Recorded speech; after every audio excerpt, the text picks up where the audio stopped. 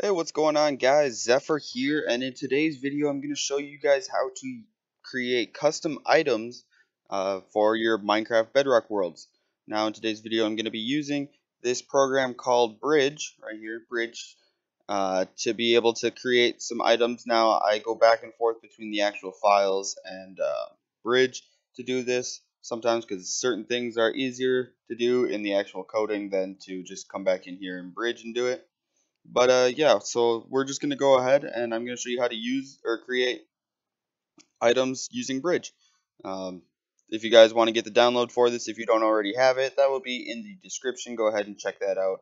Uh, download if And if you guys didn't know, I'm doing this on Windows 10 uh, PC. So just uh, just so you guys know, I think you might be able to do this like on Android mobile. Uh, don't quote me on that. Um, but yeah, let's uh, go ahead and jump right into it. So what you're going to want to do is when you log in here or load it up, you're not going to see these extra things. These are just like whenever I load up uh, Bridge, this is just like the first pack that comes up. So uh, you might not have anything here, but what you're going to want to go ahead and do is click New Project and give it a name. So now let's do, let's just go ahead and give it a name real quick. Xephyr Tutorial. How about that? We'll just give it a name tutorial and then we'll just do the same thing here for this one. I keep on typing that wrong. Whoops. Xephyr tutorial. And then you can give it a description if you want. Um, might as well just give it a, I don't know, tutorial on how to create custom items, period. Now you're going to want to go ahead and give yourself a Minecraft version. We're just going to go with 1.16. Um, let's do 1.16.200. Now do not click this. This is um, this will basically just this is for other things that you can use Bridge for. Um, but uh, if you use this and you're on Windows and then your Windows computer and you try to add this add-on to your world, it will add, but only people on Windows PCs will be able to join. It won't allow um, like Xbox or PlayStation or anyone else like that to be able to join. So just don't check this, and then we'll just go ahead and click create. So now we got our files over here. just going to go ahead and delete the functions folder. We don't need that. And delete the bridge folder. Don't need that. And then what we're going to go ahead and do real quick is just create a resource pack that's linked to it. So we're just going to go ahead, click this here, create, and then we'll just do Xephyr tutorial and then resource pack. And then we'll just copy that and then paste it right here. And go ahead and click create. Now we're not going to need some of these so go ahead and delete your blocks .json uh, biomes.client we can delete that. Delete your sounds don't need that. Delete this sounds folder don't need that. I'm getting some errors down here don't worry about those. Just click through those real quick. Don't need that. And then let's uh, go back to the behavior pack. And what you're going to want to do is come up here to the top and click on this one that says new file. And then you can go ahead and give your item a name. But let's wait until we find this on the side here, this sword icon. It's an item, so go ahead. And now we're going to give our item a name. So let's just do Xephyr underscore tutorial tut or real. There we go. And now we're just going to go ahead and do a blank item template and then load this up. Click this little light bulb to auto fix the version and then we just got a blank item thing here. So we're going to go ahead and click on identifier. We're going to add something to it. So we're going to just use, we're just going to do Xephyr colon tutorial.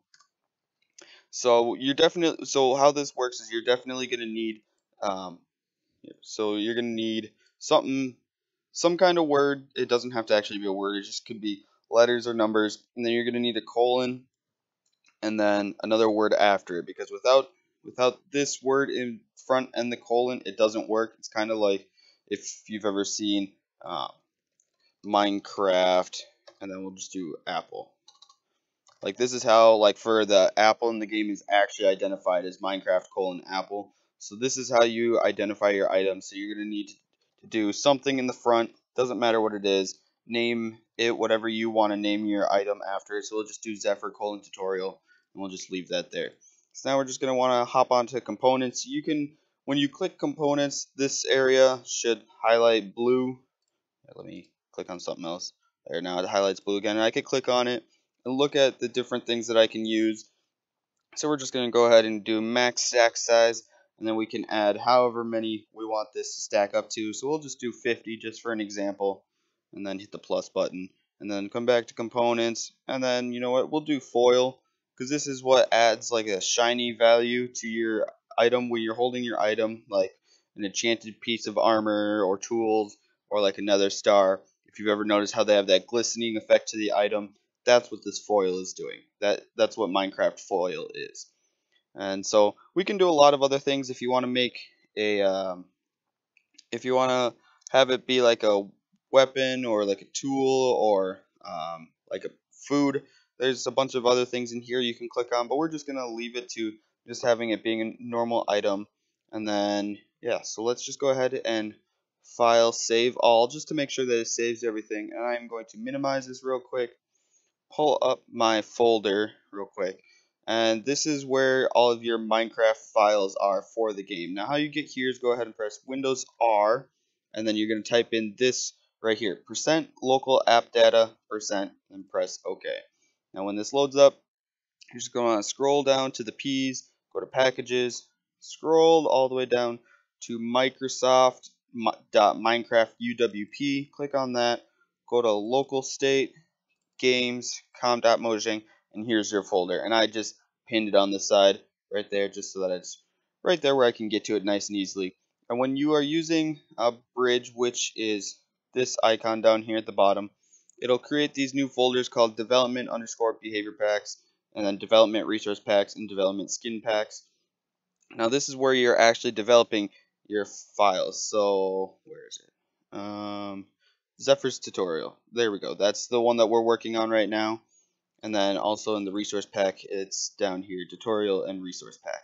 So that's what we're going to be using. But uh, let's go ahead and when you are actually in Bridge, let me show you real quick. When you're in the resource pack section, you can't actually add an item through here for whatever reason for the resource. So what you have to do is you actually have to go back to your folder and for me it's easier just to have a another um, another add-on that I can go to and grab something from it. So like let's go to my create key uh, resource pack. We're just going to go into the items folder. Go ahead, just copy one of these, Control C for this rare.json file. And now we're going to go back to com.mojang development resource packs. Jump into the Xephyr tutorial resource pack, not rename it. Jump into it. Now we're, what we're going to do is new folder, name it items, items, hit enter, open that folder, and go ahead and paste that item in there. Now let's open up this file and this is what it looks like and actually I should hopefully maybe if I refresh yep so now it's actually in here so if I go to items and I go to rare.json here is the item itself so um, there are a couple of things in here to keep in mind like here's the identifier this is where I was doing the uh, name of the item so we'll do Xephyr colon tutorial. Tutorial. There we go. Hit the plus item. And then the category is just where the item will show up in the creative menu when you are in creative mode and you open up your inventory to grab different items. This is just where it's going to show up. And then components, there's a bunch of other things you can do on here. Uh, I guess a couple different things you can do on here. Uh, your main thing that you're going to want to have is this Minecraft colon icon. And then what we will do with this is, let me just file save all real quick. It was this Minecraft colon icon. You're going to want to go to your textures and then there's a bunch of different folders in here. But the one you're going to want to use is this item texture. Now, um, let's just go ahead and go to a different resource pack real quick just to show you what it looks like. So we'll go back to my create keys resource pack, go to textures, and here's your item.texture file. Now this is how you're going to specify um, going from, I go back to this, how you're going to go from your Minecraft icon to the um, to the actual texture of the item. So like in the one before, if I actually jump back to that real quick, you see how the Minecraft icon, his name is Rare right here.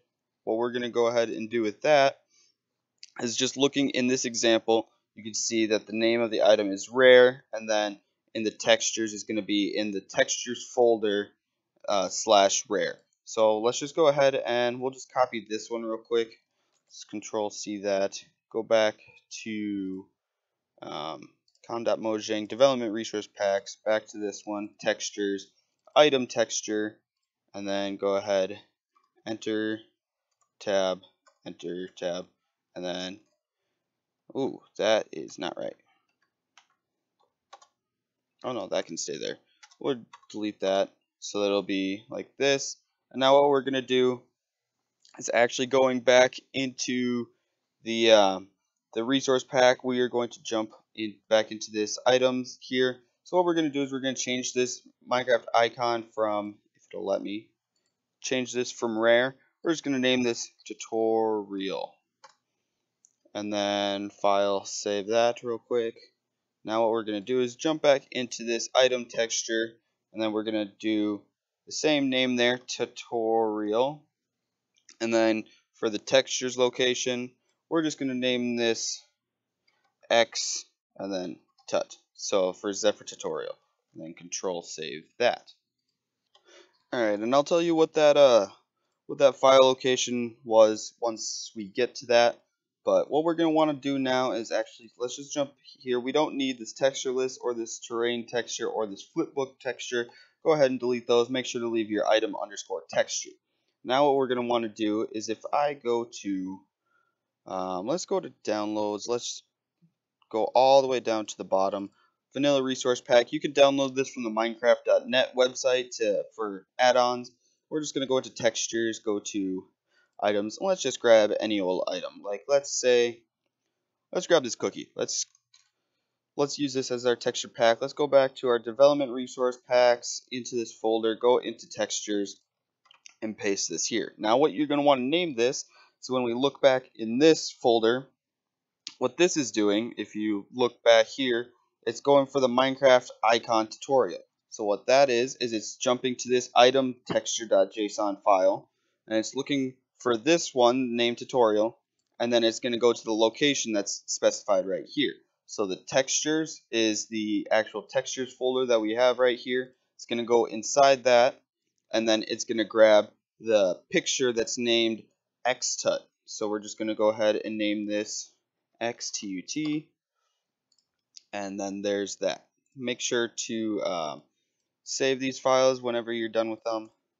Delete that. And then we're going to jump into text real quick go into enus um, and what you want to do is you're going to want to jump down a new line and this is where you're going to actually name the item for when the player has it in game so we're going to go ahead and type item item dot and then the identifier of the item, which is Xephyr colon tutorial dot name equals and then whatever you want to name it. So we're going to name it tutorial cookie. Go ahead and save that. And then what you're going to want to do is you can check your manifest folder. This is where your U your UUID is. If you ever just want to make a new UUID without having to worry about um, jumping into Bridge to get a new one. This is where you're going to do it. Um, once I load up my web browser real quick, we're just going to jump into Google. Go to Google, google.com. Jump into here, and then you're just going to want to search up UUID generator. Hit enter. Should be this first link, online UUID generator. You're going to want to use version 1. Do not use version 4, use version 1. And then you can generate how many you want. So just you could do 2, generate. And this is how you identify your pack is you just use your the UUID and you paste it into this location here and then you paste a different one into this location here.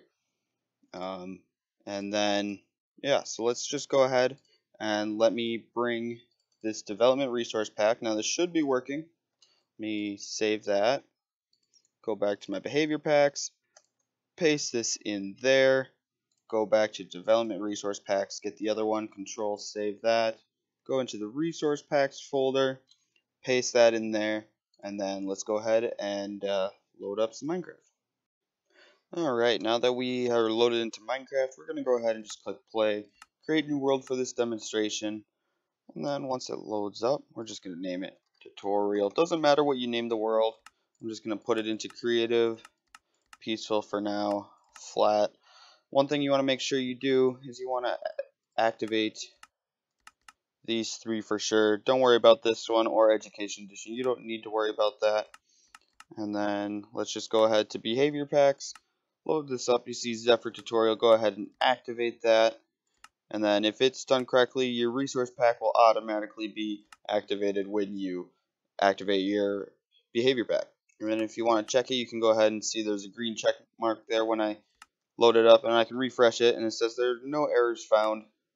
And then we can just do the same if we wanted with the behavior pack, which there were no errors found.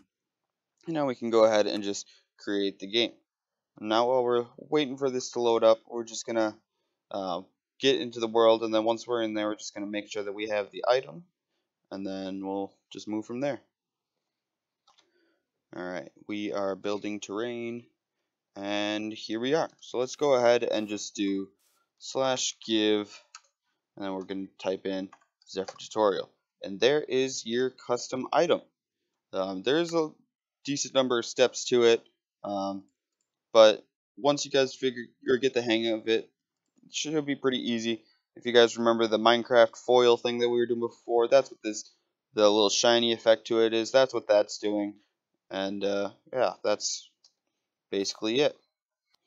Now something to keep in mind when you guys are making your actual behavior pack or your custom items in your behavior pack. Um, if I go ahead and find this real quick, you go into the manifest this is where you can update, like the version right here is version 1.0.0. Don't worry about the minimum engine version, and there's 1.0.0.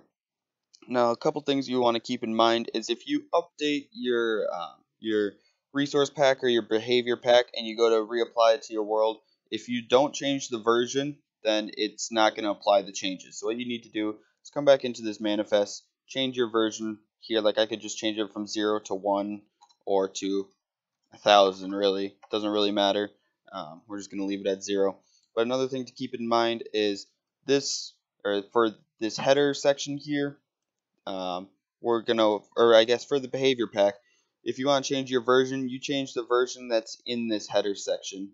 And you also change the version that's in this module section. Now if you change anything in the resource pack you're going to want to change update the version in the dependencies. And um, so the dependencies also links to your uh, resource pack manifest. So if I go here, manifest, so like here, if you look at this UUID on the resource pack manifest, you can start see it starts with an EA or ECA 2D. That's this one right here. So these two are the exact same. This is how they link up is through the dependency on here relates to the resource pack. So your versions in your resource pack here have to be the same. So like if this is 1.0.1, then this one also has to be 1.0.1. And then in your behavior pack, this one also has to be 1.0.1. But for the behavior pack itself, this could be 1.0.2 and this one could be 1.0.2. But these, this version has to be the same version as this one. And then for the dependencies, this version has to be the same as the version in your resource pack and then you could just save it, load back into Minecraft, and then just go into your behavior packs and just load up the most recent version. Which, if you remember, once you loaded in the version or the behavior pack before you join the world, you, if you click on that green check mark, it'll tell you the version to make sure that you are using the correct one. I'm not going to save that. Don't need to save that. But uh, yeah, so one more thing I just want to show you, just in case you guys get a lot, little lost. If you want to create more than one item, this is how you create a second one for your item texture. You're just going to want to go ahead copy this. Control C, put a comma after that, and then actually, you know what? Let's copy up to here. Control C and Control V. and then you put whatever your Minecraft icon name for inside the resource item is here, and then texture slash and the name of your uh, picture right there. It's pretty simple. Once you guys get a little figured it out, then it should be a lot easier for you guys. But uh, yeah, I'm just going to go ahead and end off today's video. Um, thank you guys for joining me today. Uh, hope this video is helpful or beneficial to you guys. If you guys did enjoy it, make sure to leave a like, drop me any comments if you have any questions. Uh, I do respond faster in Discord, so make sure to check the description to join the Discord channel if you have any uh, questions. You can leave them there too, but uh, make sure to hit that subscribe button. This has been Xephyr, and peace out.